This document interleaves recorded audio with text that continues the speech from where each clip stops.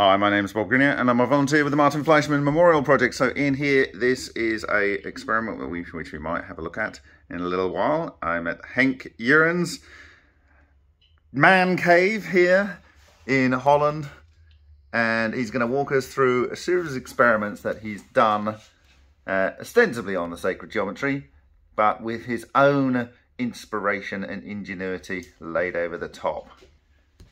So Henk, uh, what am I looking at up here? Well, this is the um, the aluminium I used. You you suggested aluminium to use as a fuel or base product, and I started with uh, sheets of aluminium on top of each other, and then there was activity in one side of the aluminium. You can see carbon, see destruction, see things going on. But the problem is that when you put spaces in there, it doesn't, it, it falls apart and it shrinks and so on. So I thought, well, maybe just make a, a blob of aluminium foil and start working with that. And, and that I started on this way and it, it melted. And then it started to melt on one side. And again on one side. And it started to melt somewhere in the middle and here it started to melt on a specific place and here it started burning through. It's got a hole at the top and a hole through the sides. I just punched a, a hole through it, hasn't it? Yeah. So all different behaviors and then this one you so we, one of these you didn't have a cap on it, did you? Yeah, exactly. And then I started yeah, experiment okay. with and then it started so th this one here didn't have the dome over the top, the iron dome. right and then And it just kind of went on the top, right? Yeah. Not around the outside. And what I found out is that aluminium um, attracts this plasma, or you can say this plasma likes aluminium to, to be in. It's, it's, it's really attracting it. This is, uh, I think, one of the most fascinating ones because it's like, uh, it's found a zone here and a zone here, and you can see it's like carbonized through the channel. Uh, and uh, what's going on there? Can we actually see light through there? I don't know. But there are much more interesting. Yeah. This, this, this is very interesting. And probably when you look in, under the microscope and maybe even further, it, it's it's probably very fascinating to see all the destructions going on. Nothing on the top, nothing on that side, but all kinds of stuff going on over here. Get that in the right order. Okay, so you didn't stop there. We've got some other samples on the other side of the room, right? Here, So- I, s- here I started with uh, a different one. So this was an idea you had, like, does it really make a difference if I have the metal tube? Can I can I see what's going on? And so you use this me metal mesh. Is this an iron mesh? Uh, stainless steel. Stainless steel. But, Okay. it, but it's yeah. That might be interesting if it's stainless steel because you know it's not ferromagnetic. Yeah. Well, it's this material. Right. Yeah. Some there.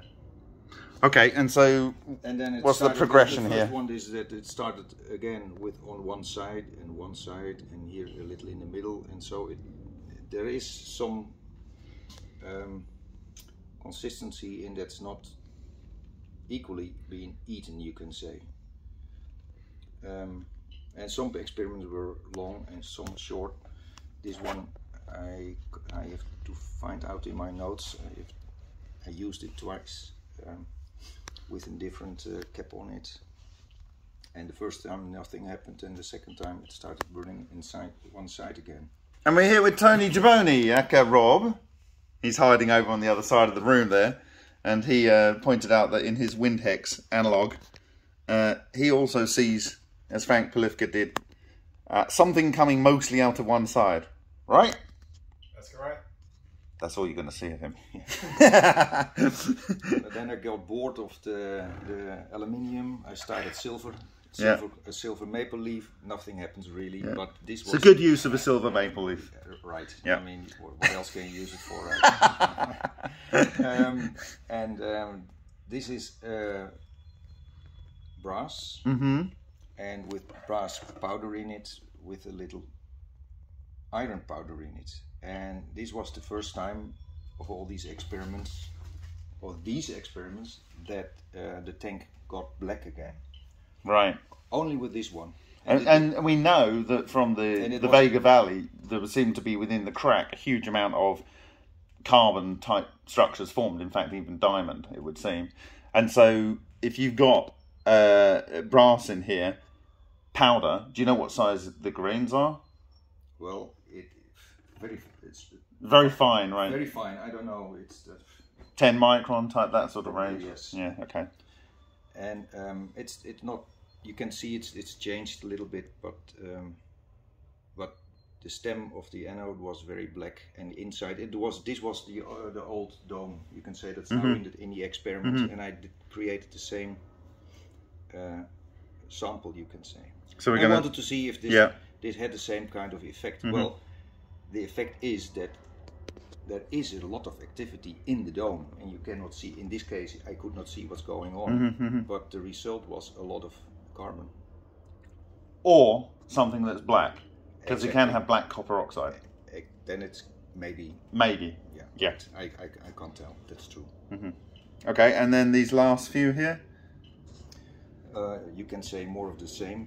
Um, and, and this one is it's again. This Yeah. is metal, no steel. This one's steel, and you, you put the same kind of mixture in there, did you? exactly. Okay.